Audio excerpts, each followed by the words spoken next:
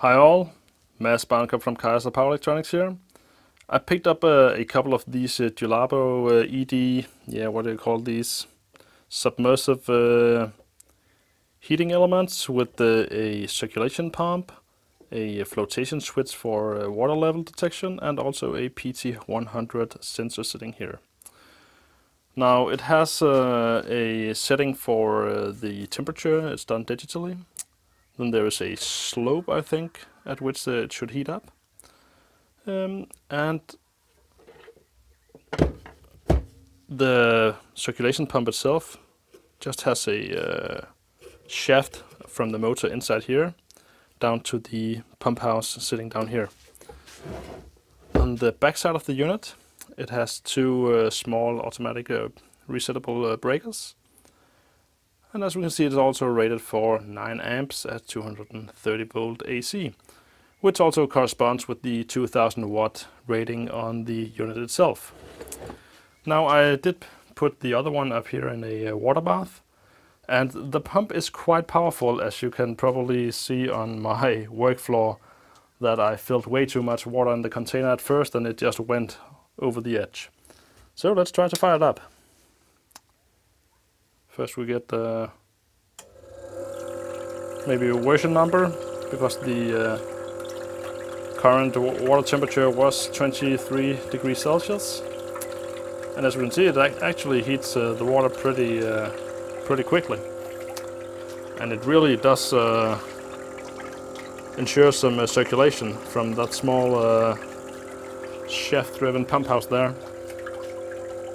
The unit comes apart with just uh, two screws, uh, taking the um, whole plastic cover off here. So down here we can see the uh, small flotation switch. There is the motor for the pump sitting here. And here we have the PT100 sensor, which is a four-wire sensor. Goes up to the control board here. Processorplatine. We can see it's from 2005. Uh, it's controlled by a microchip um, controller there, running at 4 megahertz. Has quite some uh, high quality LEDs and LED uh, 7 segments there. Uh, other than that, it has uh, yeah a little programming switch for uh, programming and then says Liefer, which is delivery in German. And then yeah, down here we have some analog signal processing from the sensor. Uh, and agencies that it might be able to extend to some other uh, different kinds of um, of apparatuses uh, with different yeah purposes. But this is a common platform that they might use for other as, as well. You can see it's a 230 volt unit.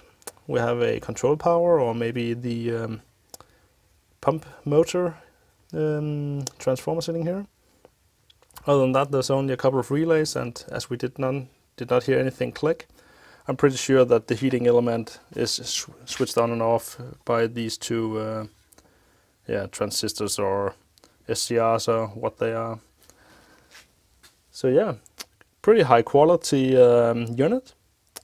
Had a, a bit more um, control electronics than I expected, but that's nice to see. Setting the uh, target temperature is done on these two uh, arrow buttons at the front panel here. See it's set to 50 degrees Celsius. Let's just say we want 40 instead as we are much closer to that. Say okay. Okay, maybe we're closer to... Uh, let's just take body temperature. So we're 4 degrees from. Now maybe I could also use this to tender meat for maybe pulled pork or something. So sweet. I don't know. Overall, uh, two uh, quite nice units. Probably uh, worth a good sum of money to uh, someone. Yeah, maybe not after I drop this one, maybe the other one.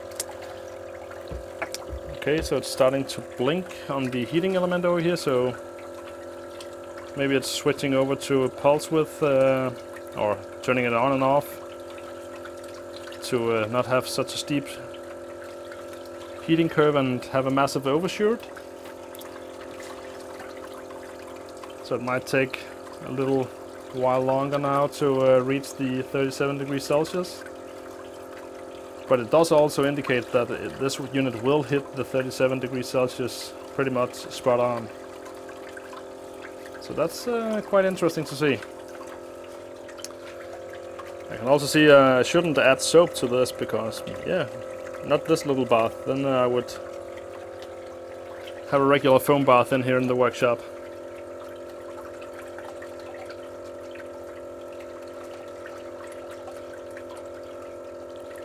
So we're nearing, almost there. You can also see the uh, flotation switch.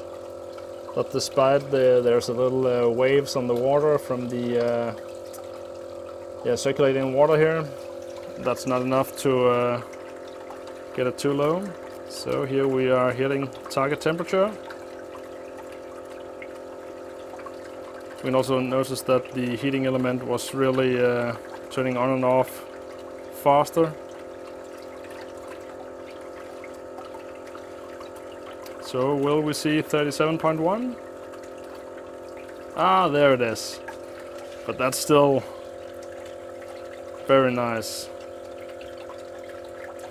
Very little overshoot for, for sure.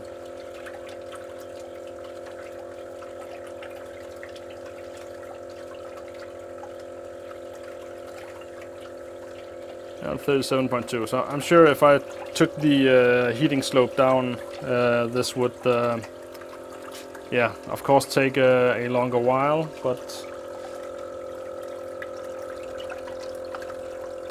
now what if we turn it down to 36? Yeah, the heating element stops completely. So yeah, I hope you enjoyed uh, seeing what this unit can do and what it contains. See ya.